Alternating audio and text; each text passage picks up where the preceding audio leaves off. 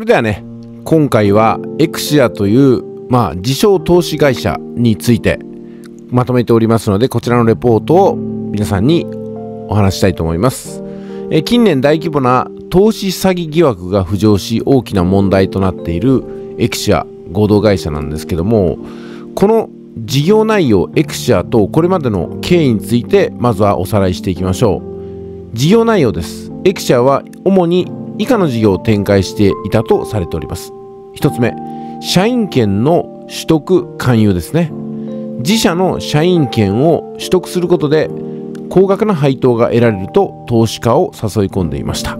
まあこの投資家っていう表現がどうなのかなと思います。実際の投資家は別にこの社員権買ってなかったと思うんですよ。投資家になりたい人が買っていたのかなというふうにちょっと私は引いた目で見ているんですけどもね。はい次。暗号通貨暗号資産関連事業ですね。暗号資産の売買や投資信託の販売も行っていたとされています。実際暗号通貨暗号資産に手を出す人って投資のことがよく分かってない人が多いんじゃないかなと思うんですよ。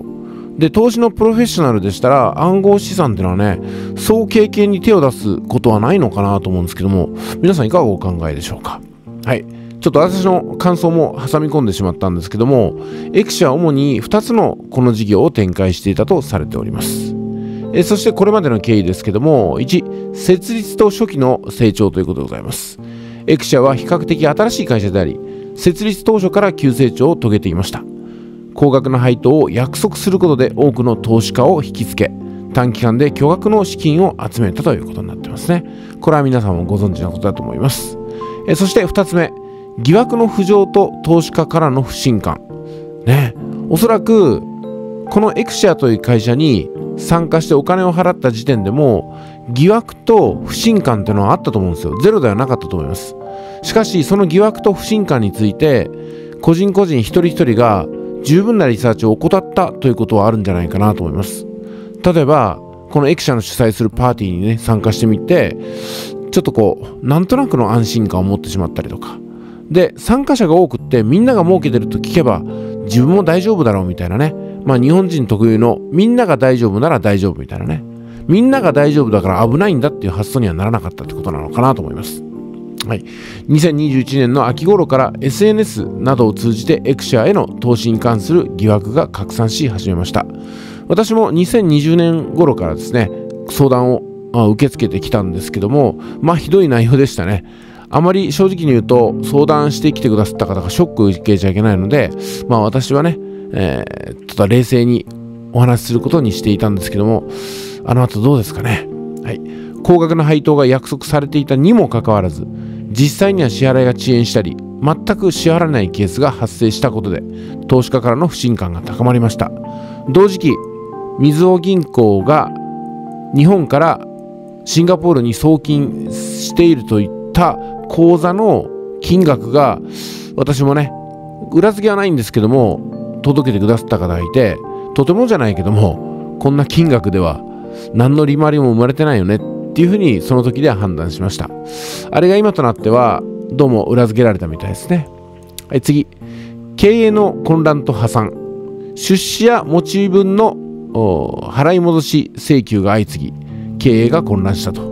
最終的には東京地裁より破産開始決定を受け事実上倒産したということになります。要するに取り付け騒ぎが起きてどうにもならないのではい破産倒産ですねっていうふうなね、まあ、そんな指示を受けたってことになります。そして4つ目がラストなんですけども巨額の負債と控訴が今後残されています。駅舎は約9000人の投資家さんから約850億円の出資を受けていたとされており巨額の負債を抱えていますと。ね綺麗な書き方してますけども騙し取られたっていうふうに感じてるのが多くの人の感想じゃないかなと思います。まあ私としてはね1円も払ったことがこのエクシアにはないので騙し取られても何でもないんですけども遠くから見ているとねまあ気の毒な数年間を送ったんだなというふうに思います。投資家からは詐欺罪での刑事告訴や損害賠償を求める民事訴訟が多数起こされています。まあけどこれ時間かかりますからね経済事犯とは言っても。そして刑事告訴も受けてますけどもそうなると余計に長く時間かかります。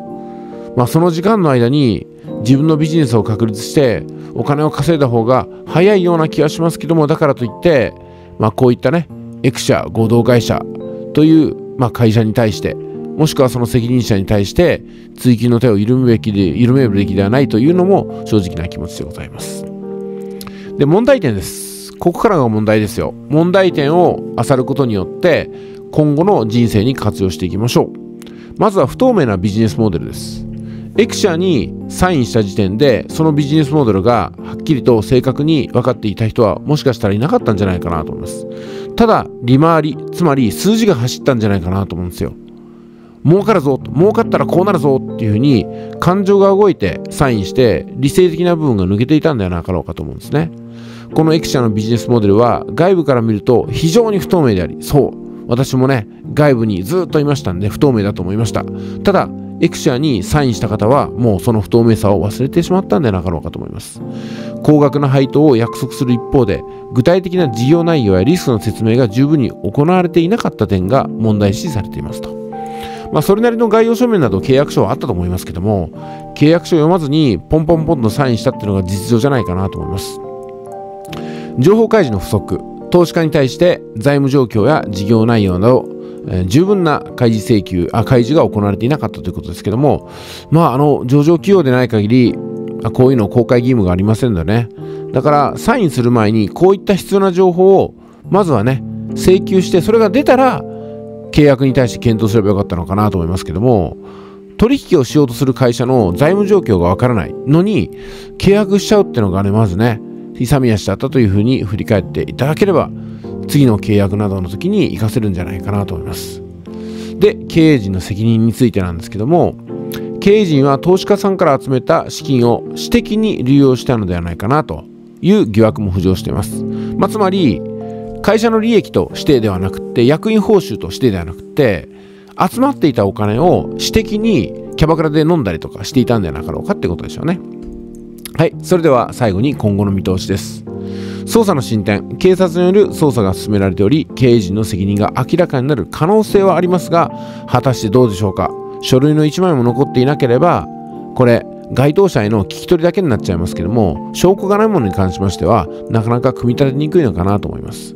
はい、損害賠償の訴訟。投資家さんからの損害賠償訴訟が長期化する可能性があります。というよりも、長期化しかしないでしょうね。